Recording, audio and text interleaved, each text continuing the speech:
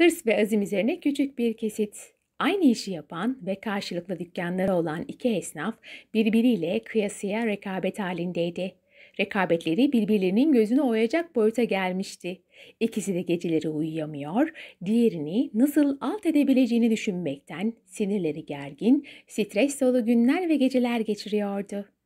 Bir gün esnaflardan biri dükkanının bodrum katında eski bir lamba buldu. Lambayı temizlemek için o varken tabii ki içinden bir cin çıktı. Cin adama sordu. Dile benden ne dilersen, istediğini dileyebilirsin. Yalnızca bir koşulum var. Kendine ne dilersen iki mislini de karşı dükkandaki komşuna vereceğim.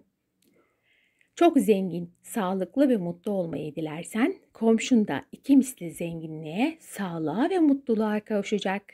Şimdi karar ver ve dileğini söyle. Adam düşündü ve dileğini söyledi. İşimin yarısını kaybetmek istiyorum.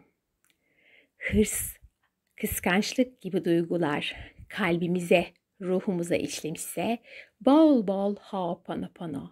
Seni seviyorum, özür dilerim, lütfen beni affet, teşekkür ederim. İçimdeki duygu, seni kabul ediyorum, seni seviyorum, senden özür dilerim, lütfen beni affet, teşekkür ederim. Yorumlarınızı, isteklerinizi yorum kısmına yazabilirsiniz. Sevgiyle, mutlulukla, hoşçakalın.